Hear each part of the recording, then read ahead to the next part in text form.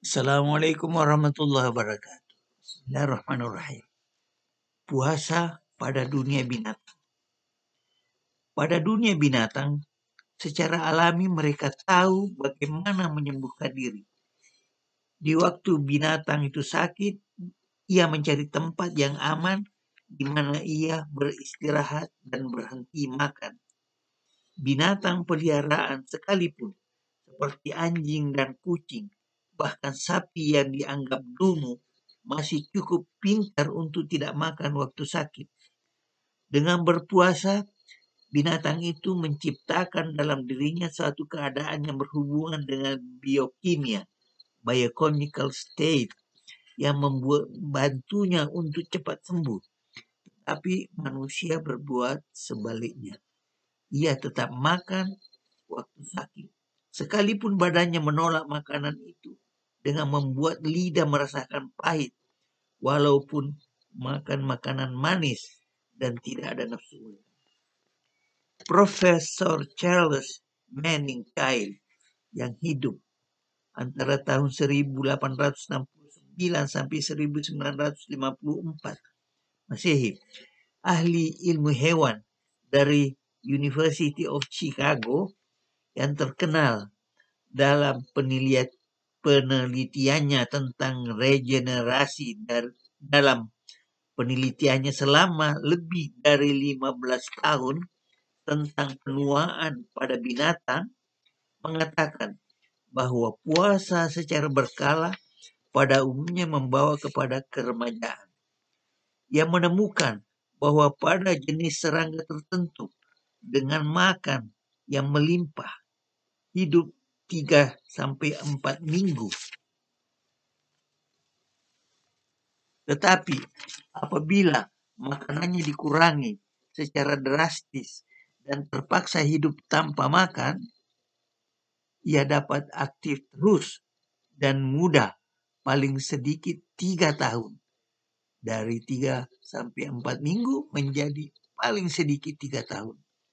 Ini mengingatkan kita kepada sekawan belalang yang tiba-tiba muncul dan berkembang biak sampai jutaan lalu merusak tanaman di Afrika dan Asia lalu tiba-tiba menghilang. Mengapa? Karena kekenyangan serangga itu bunuh diri. Tetapi tidak semua mati, ada yang masih hidup. Itulah yang kemudian berkembang biak dan akan mengancam lagi tanaman kita di masa depan. Makan berlebih, kekenyangan, berbahaya. Sedang puasa bermanfaat untuk memelihara kesehatan. Marilah kita belajar dari alam raya. Alam ini adalah suatu buku dan setiap orang dapat membacanya. Berpuasa bukan untuk merasakan kelaparan. Untuk mengalami kelaparan memakan waktu lama. Para dokter, mengatakan bahwa manusia dapat hidup tanpa makan selama beberapa minggu. Contohnya, kedua orang yang selamat dari kecelakaan pesawat di British Columbia hidup sampai 49 hari, yakni 7 minggu, 7 minggu tanpa makan, tapi minum dari air salju. Manusia dapat hidup tanpa air selama kira-kira tiga hari saja. Tapi kadang-kadang ada pengecualian. Misalnya seorang anak bayi dikatakan hidup secara ajaib setelah terjebak pada runtuhan gedung selama seminggu di kota Meksiko ketika kota itu hancur kena gempa pada tahun 1985. Karena itu, tanpa minum selama 18 atau 19 jam waktu berpuasa di musim panas bagi orang Islam yang hidup dekat kutub utara atau kutub selatan hanyalah seperempat atau sepertiga dari waktu yang dapat menyebabkan kematian. Tanpa sahur pun, puasa selama 24 jam masih sepertiga dari waktu yang menyebabkan kematian karena kehausan. Karena itu pula, berpuasa pada hari terpanjang bulan Ramadan jauh dari bahaya mati bagi orang sehat. Allah berfirman, La yukallifullahu nafsan illa wus'aha. Allah tidak membebani seseorang melainkan sesuai dengan kesanggupannya. Untuk meringankan puasa, Nabi Muhammad SAW menganjurkan makan sahur. Nabi mengatakan bahwa makan sahur itu adalah berkah. Beliau menganjurkan berpuasa, berbuka puasa dengan kurma atau air, karena kurma itu berkah dan air itu suci.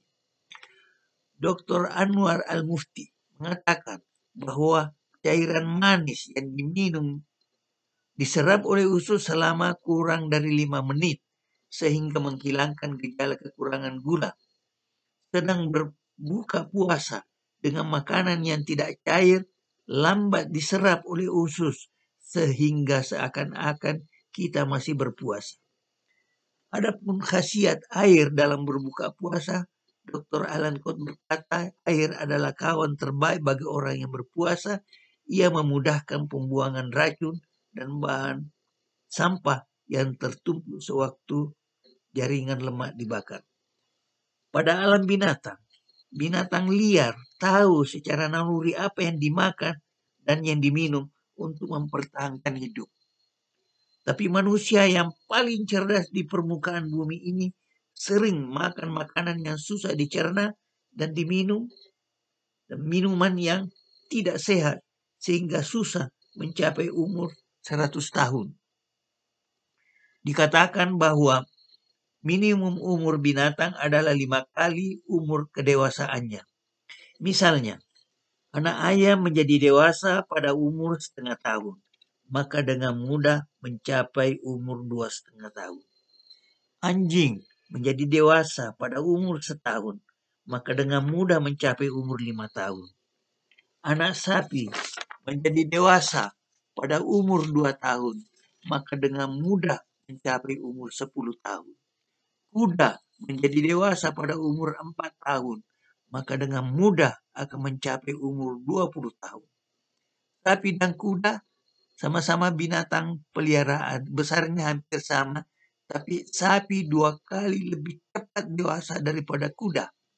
Sapi dua tahun, kuda empat tahun. Supaya sapi cepat dikonsumsi dan kuda yang usianya dua kali lebih lama daripada sapi dapat dimanfaatkan lebih lama sebagai tunggangan dalam perjalanan, sebagai pengangkut barang, dan kendaraan penyerbu dengan cepat dalam berperang. Manusia menjadi dewasa antara 17 dan 20 tahun, maka seharusnya dapat dengan mudah mencapai umur antara 85 dan 100 tahun. Tetapi sayang, pada umur 60 tahun ia sudah menjadi semi invalid.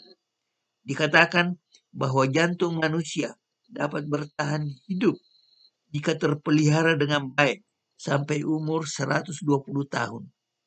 Orang tertua di dunia ini pada saat pada abad 20 yang lalu adalah Jean Calment dari Perancis yang berusia 122 tahun 164 hari dan meninggal pada tahun 1997. Dengan perkembangan ilmu kesehatan dan gizi, rata-rata umur manusia juga bertambah. Pada tahun 2020, rata-rata umur manusia di Hong Kong 85,29 tahun. Disusul oleh Jepang 85,3 tahun. Singapura 84,7 tahun. Australia 83,94 tahun. Dan pada tahun 2019 ada 82,90 tahun, naik sedikit. Indonesia adalah 72, 32 tahun. Kesimpulannya, agar supaya kita, baik manusia maupun binatang, tetap menjaga kesehatan dengan berbagai cara, di antaranya berpuasa, baik yang wajib maupun sunat. Dan pada binatang terpaksa berpuasa berkala karena kekurangan makan. Assalamualaikum warahmatullahi wabarakatuh.